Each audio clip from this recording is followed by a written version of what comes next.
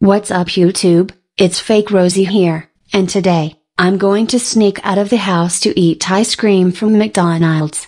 Ha ha ha ha ha ha ha ha ha ha.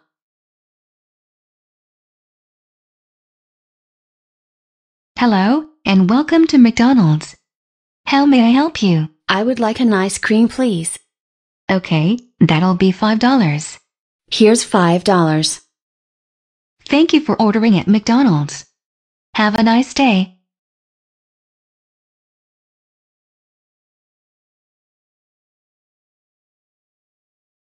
Fake Rosie, where have you been? We've been searching all over you and our house. Um, I went to McDonald's and got ice cream. Fake Rosie, how dare you sneak out of the house while grounded? Went to McDonald's and got ice cream. That's it. You're grounded for the rest of this week. And besides, tomorrow is your first day of term 3. Besides that we got you school supplies, you will still lose them for class, but for the rest of today, you're staying in your room. Go upstairs to your room now.